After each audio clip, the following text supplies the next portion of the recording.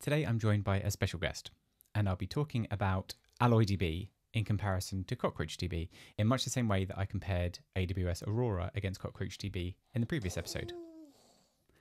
So, what I have here, I'll hop over to a terminal. I've created an instance, both a primary instance and a read only or a read pool instance of AlloyDB in GCP. And because it creates the instance in a VPC, I've created a VM within that VPC. I'll show you the code.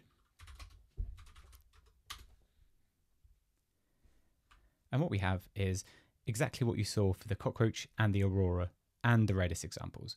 We have a connection to a database, and we kick off a write thread and a read thread. The write node will connect to the primary instance, and the read node will connect to the read pool instance. I'll kick off both threads. I'll create a database table if necessary, and populate it with one row. I'll make a write and then I'll publish a message onto a Go channel to say that the write has occurred and that a read needs to take place. And there's the code for the read.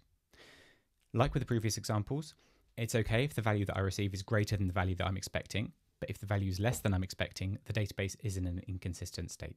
Let's leave that file and start the application. So within 44 write requests, we've hit an issue whereby we were expecting to see a value of 43, but we actually received a value of 42. This essentially means that, like with AWS Aurora, GCP AlloyDB is eventually consistent. Again, there's no problem with eventual consistency, but it's something to be aware of if your database workloads require strong consistency.